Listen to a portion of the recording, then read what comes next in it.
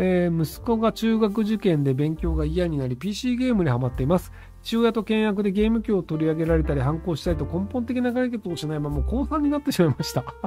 あ、中学受験の話なのにもう高3なのね。えー、付属大学の推薦をもらうことができたのですが、プロゲーマーになりたいと言っています。大学と両立できるとは思いません。父親も納得しないので授業料も払わないと言っています。やりたいことをやってほしいのですが、どのように説得すると良いですが、えっと、父親を説得するということでいいんですか？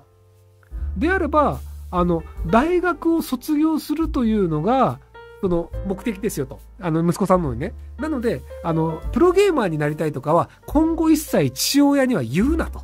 別にあのね、父親にプロゲーマーになりたいと言ったからなれるわけではないので、プロゲーマーを目指しても全然良いですと。ただ、大卒プロゲーマーの方が、割とその、あの、大学の名前も使えたりするので、契約されやすいですよと。例えば、時戸さんとかって東大卒なんですよ。で、あの、格ゲーで日本で一番強い人ですって言ったら、格ゲーで一番強い人ですっていう紹介すればいいのに、東大卒プロゲーマーって書かれるんですよ。なんで？東大卒という肩書きがあるからニュースになるからなんですよ。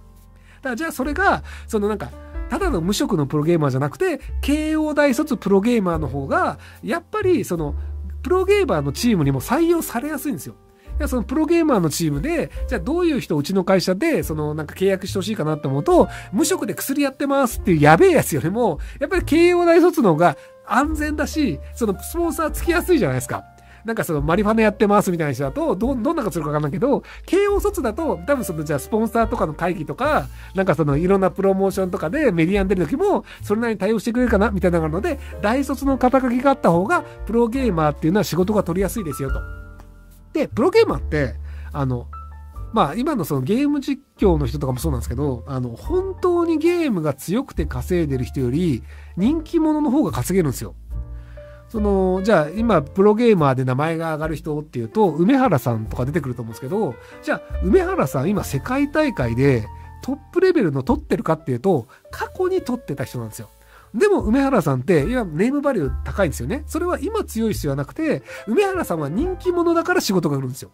で、ゲーム実況とかでやってる人たちね、今度あの東京ドームでゲーム実況をやるキヨさんとか、あの別にゲーム上手くないんですよ。あの、まあ僕よりは上手いんですけど、別に何かの大会で優勝するぐらいゲームが上手いわけではないんですよ。人気者なんですよ。で、人気者になるときは、やっぱり大卒の方が広告とかがスポンサーがつきやすいんですよ。で、スポンサーがつきやすい人の方が、やっぱりいろんな案件が来て、いろいろなそのなんかあの、じゃテレビとかだったり、イベントだったりという出しろがあるので、結果的に露出が増えて、より人気者になりますよっていうのになるので、なので、その大卒という肩書きは大事だよねっていうのを子供にまず教え込む。で、父親に対してはプロゲーマーになりたいとか絶対言うな。二度と言うな。で、絶対留年するな。